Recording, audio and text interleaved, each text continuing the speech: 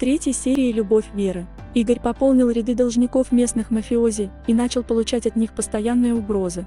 Парень не признался отцу, что попал в затруднительное положение и хотел решить проблему самостоятельно. Но в третьей серии мелодрамы «Любовь Веры» 2021 года главная героиня узнала о неприятной ситуации, в которую попал ее ученик.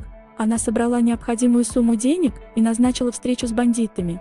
Если бы женщина знала, что ожидала ее в тот вечер, то никогда бы не пошла на то зловещее рандеву. Узнав об отчаянном и смелом поступке, Игорь захотел отблагодарить учительницу. Он купил ей украшения, но Вера отказалась принимать такой драгоценный подарок.